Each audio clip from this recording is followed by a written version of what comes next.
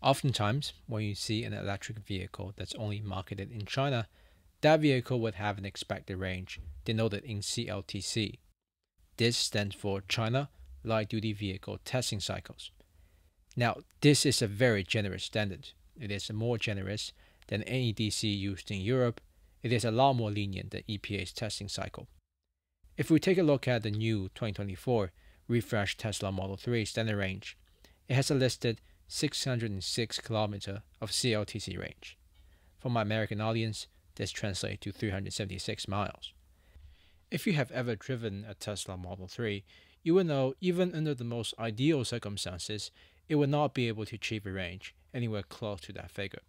In fact, if you go onto Tesla's official website in the US, the very same model with the same size battery and the same powertrain have an EPA range of 272 miles which is although optimistic, but nevertheless achievable.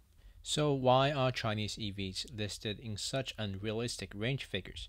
The short answer is the government in China are trying to push electric vehicles into the mainstream, and therefore having a generous range figure makes the vehicle seems a lot more practical than they actually are. After all, your average consumers wouldn't know the difference. But then how would you convert the CLTC range into EPA range? If we go back to the Tesla Model 3 for a minute, the EPA range is 72% of the CLTC, and I have found that 70% can be used as a rule of thumb for most conversions.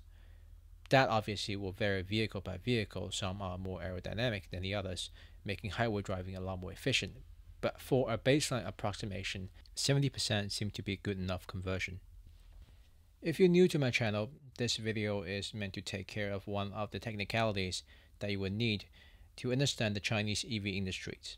Now, if this is something that you're interested in, you can subscribe to my channel and check out my other videos. Stay tuned for more content just like this one.